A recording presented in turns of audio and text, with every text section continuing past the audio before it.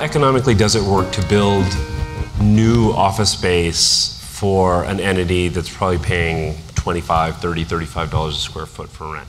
Yeah, I mean, it, it doesn't work at all. I mean, there's a, there's a reason, uh, in spite of the incredible resurgence in Brooklyn uh, over the last 20 years, and, and Mary Ann has really been at the forefront of that um, along with us. But uh, there's a reason, in spite of all of this energy, all this talk about tech, all these companies uh, sort of proliferating there, you haven't seen a single new building being able to be built uh, for these purposes. It's not because people in capital are wildly irrational.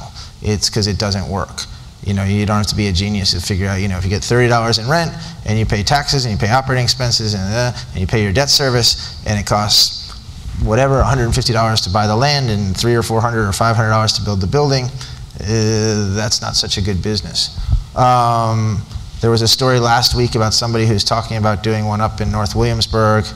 I don't know anything about it. I don't know if it's true. I don't know if it'll happen.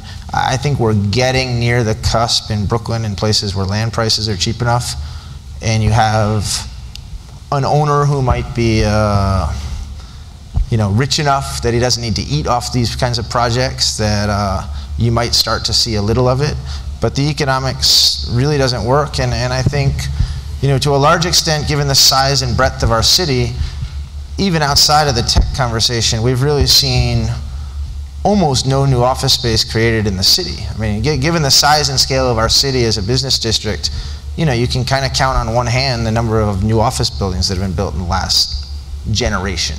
You know, and down to, you know, it took a terrorist attack, so that stuff, uh, that's a slightly different story. Um, but the market is not super keen on building new office space. And I think, you know, the couple examples where you can sort of point to it, what we're doing at, at Domino, and I think if you talk to the related people, if they were here, they would give you the same answer about Hudson Yards. I think there's starting to be an understanding that there's a public policy benefit to having office space, right? When we look around the city, these pure residential enclaves feel very suburban, they feel not of our city, they feel a little unenergetic and uninteresting, uh, and lacking this sort of intensity that most New Yorkers like to feel in terms of a place. Um, so we certainly feel that way. We think that what's created Dumbo more than the residents who pay lots and lots of money for apartments is that fabric of office workers. So at a place like Domino, we are trying to essentially use the residential rents to cross-subsidize uh, to create the commercial vitality. But it's very, very, very difficult. As a developer, you know, I've got a fixed number of square feet to build. I can rent it to a residential tenant for $55 or $50 or something like that.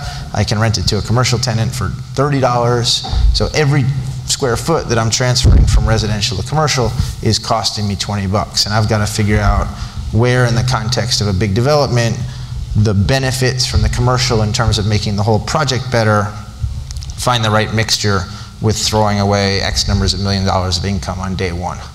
Um, and, and that's kind of the balance.